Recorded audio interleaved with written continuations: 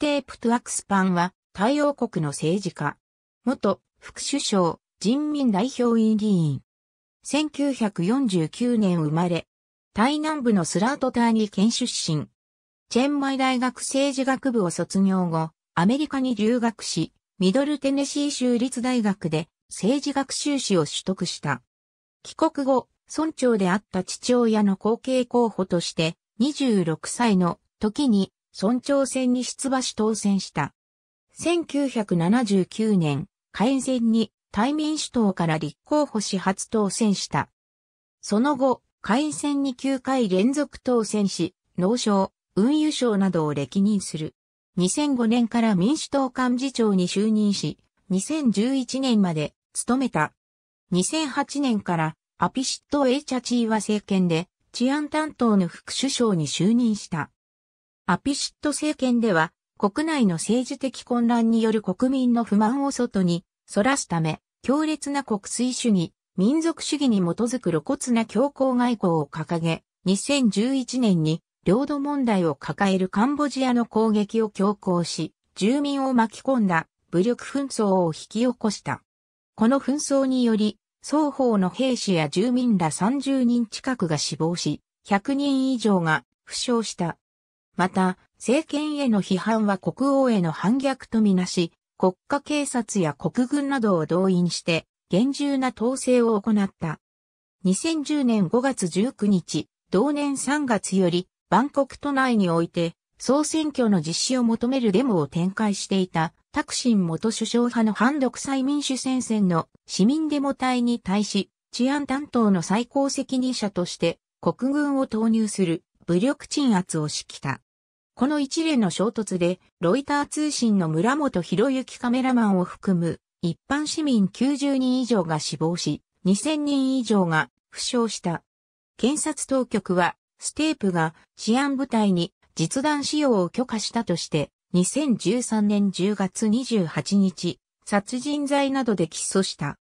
2013年11月、ステープは下院議員や党の役職を辞職し、タクシン元首相派のインラック首相の退陣を求め、反タクシン派政権の樹立を狙う暴力的な反政府デモを開始し、武装デモ隊を率いる民主党人民民主改革委員会の委員長を務めている。そのため、裁判所は国王や国家への反逆容疑でステープの逮捕状を出した。このデモにより政府機関の職員が他の場所で業務を行ったり、大学やバンコク日本人学校などの教育機関が臨時休校になるなどの影響が出ている。2014年5月23日、軍によるクーデターにより身柄を拘束された。その後、7月16日に故郷のスラートターニー県の仏教寺院で出家したが、翌2017年7月に減属し、財団設立を発表。ステープ側は軍政に改革を平和的に訴えていく財団であり、デモ活動などはしないと主張したが、軍政のプライユット・チャンオチャ首相は問題を起こさないよう忠告すると表明するなど、警戒感を強めている。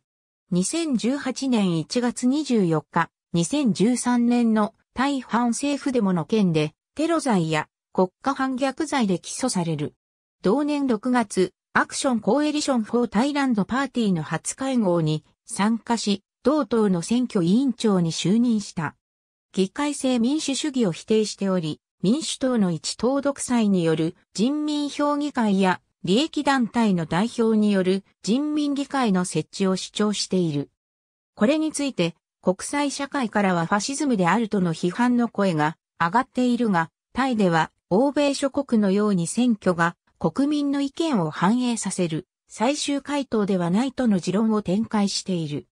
反独裁民主戦線など、タクシン元首相原の民主化勢力には妥協を示さない強硬派として知られる。